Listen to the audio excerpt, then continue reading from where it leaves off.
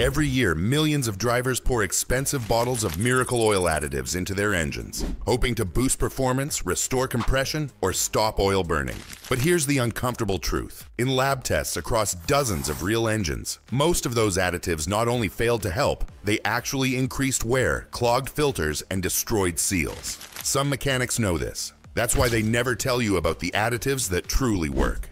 Because those are the ones that cut into repair profits. So today, we're breaking it all down the science, the myths, and the few hidden formulas that actually protect engines. And trust me, by the end, you'll never look at those tiny bottles of magic the same way again.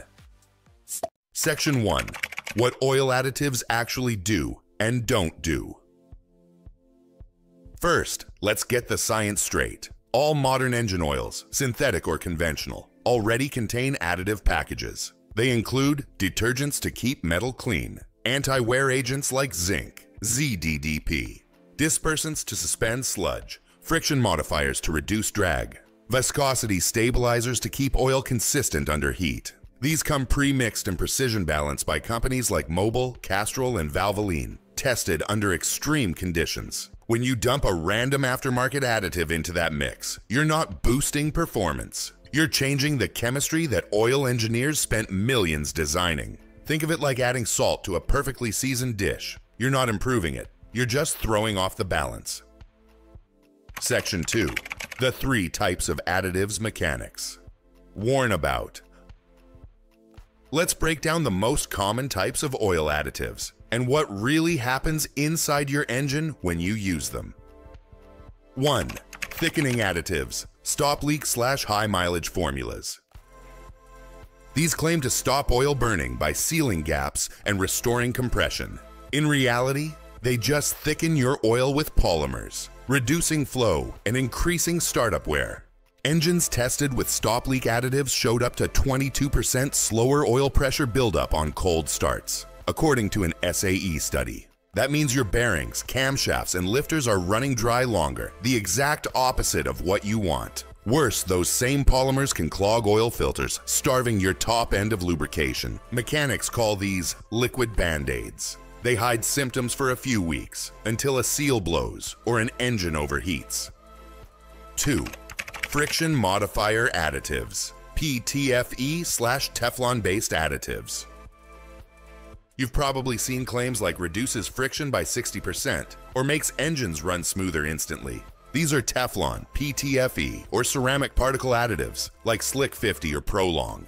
Here's the real problem. Teflon was never designed for internal combustion engines. When added to oil, these microscopic particles can settle in filters, coat sensors, and even clog oil passages in precision areas. In one Department of Energy test, PTFE-based additives increased filter restriction by 18% after just 1,500 miles. The scary part, engines didn't fail immediately. They slowly suffocated from restricted oil flow. That's why even DuPont, the original creator of Teflon, publicly stated, Teflon is not suitable for internal engine lubrication. Yet companies still sell it because it feels smoother right after application. A psychological trick, not a mechanical improvement. 3. Metal-infused additives, zinc, moly, or copper boosters. You'll also see additives bragging about molybdenum protection or zinc-enriched formulas. Yes, ZDDP, zinc, dialkyl dithiophosphate, and moly are real anti-wear agents. But here's the issue. More doesn't mean better.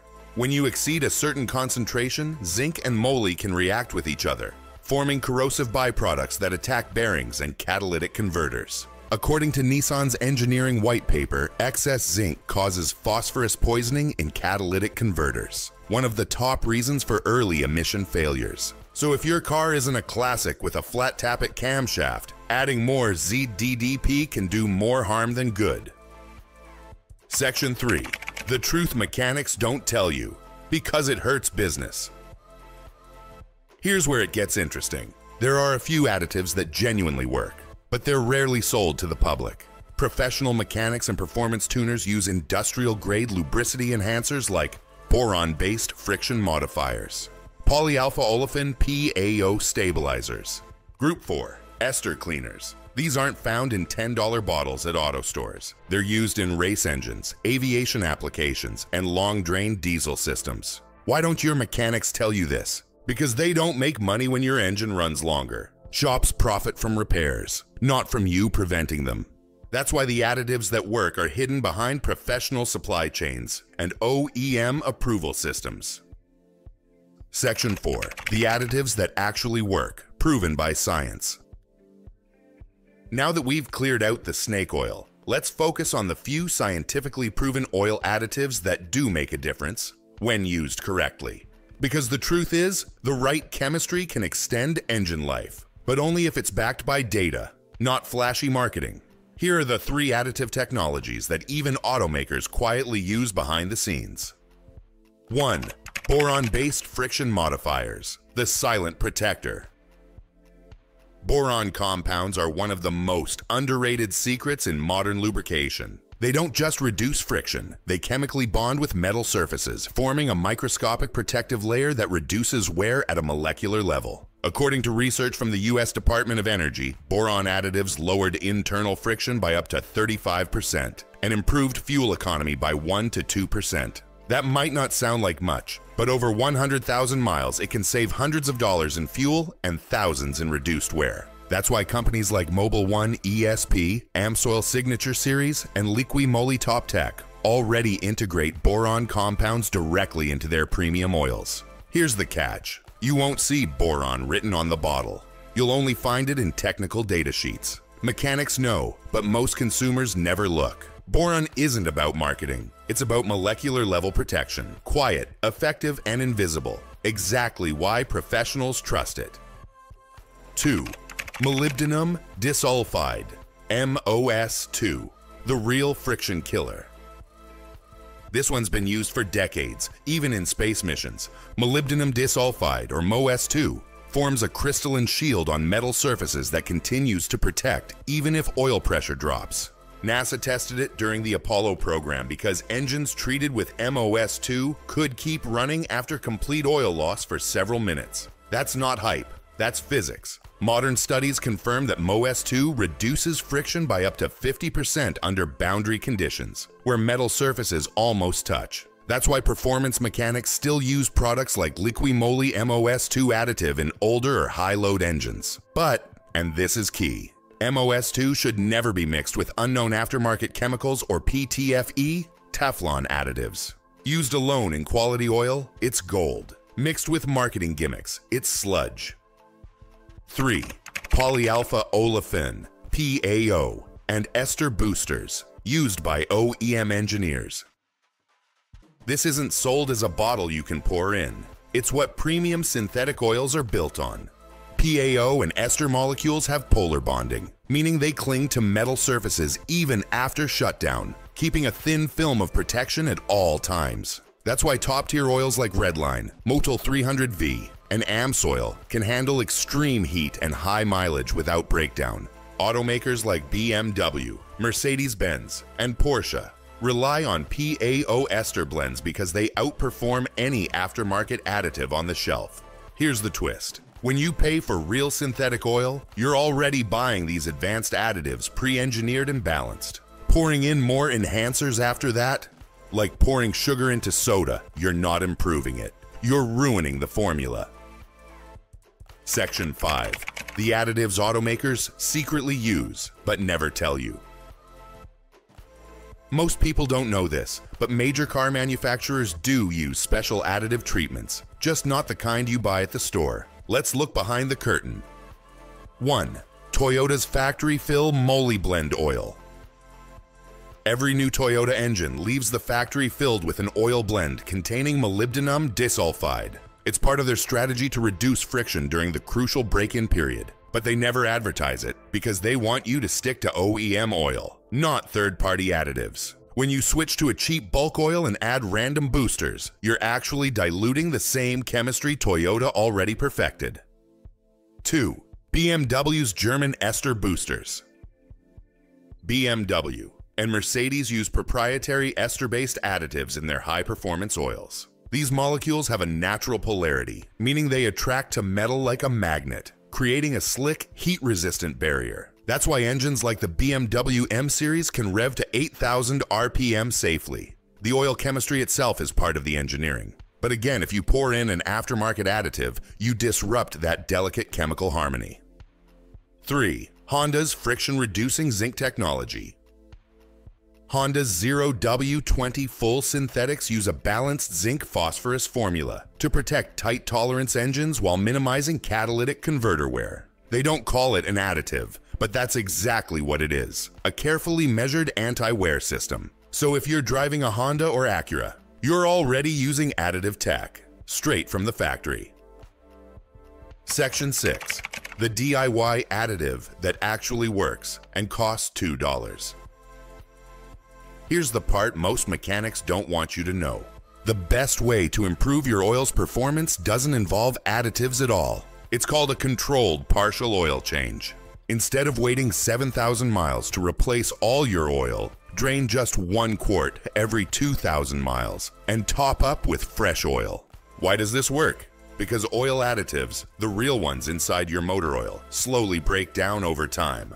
By refreshing just a quart, you're replenishing detergents, dispersants, and anti-wear agents before they're depleted. Independent tests by Project Farm showed that partial oil refreshes reduced engine wear by up to 20% over 10,000 miles, without adding any third-party chemicals. So instead of wasting $25 on a mystery bottle, spend $2 on fresh oil, and you'll outperform 90% of those additive believers. Section 7. When additives actually cause engine failure. Still think all additives are harmless. Here's what really happens when they go wrong. 1. Catalytic converter poisoning. Many zinc or phosphorus heavy additives release compounds that coat the inside of catalytic converters. Once coated, the converter can't neutralize emissions properly, triggering a check engine light, P0420, and costing $1,000 plus to replace. 2. Oil filter collapse. Thickening agents and cheap stop leak additives can cause your oil filter to collapse under pressure. This cuts off oil flow, and if you're driving at highway speeds when it happens, your bearings can seize in seconds. This has been documented in ASE technician reports across Ford, GM, and Toyota vehicles. 3. Sensor contamination. PTFE, and ceramic particles can coat oil pressure sensors, causing false readings that lead to wrong diagnostics. You might think your oil pump's failing, replace it, and spend $800. Prawns, when it was the additive the whole time. 4. Sludge formation from additive clash. If you've ever mixed brands, say Lucas with STP or Marvel Mystery Oil with Seafoam, you may have caused additive clash where competing chemicals react to form sticky residues. These can gum up oil control rings and cause smoking, oil loss, or hydraulic lifter noise. When in doubt, never mix brands. If you want to clean your engine, use one trusted product and follow instructions exactly, or just shorten your oil interval. Section 8. The real secret mechanics keep quiet about. Now we get to the part most viewers never hear, because it doesn't make anyone money. The truth is, consistent oil changes with top quality synthetic oil outperform any additive ever made. Period. When you use a premium oil like Mobil 1, Amsoil, or Castrol Edge, you're already getting one of the most complex chemical formulas ever engineered, with hundreds of hours of lab testing behind it. And mechanics know that if you follow your oil schedule religiously, your engine might outlive the car itself. That's why the additive industry exists it's built on your fear that you're not doing enough, but you are. Regular maintenance, not miracle bottles, is the real secret to long-lasting performance. So after all the testing, expert reviews, and scientific data, here's the final truth. Oil additives can't replace good oil, and good oil doesn't need extra additives. If you want real protection, invest in high-quality full synthetic oil, a reliable OEM filter, and consistent maintenance. That's the formula that race teams, fleet mechanics, and engineers trust. Not a $15 bottle with shiny promises. So hit that subscribe button, share this with a friend who swears by additives. And remember, your engine doesn't need magic, it needs consistency.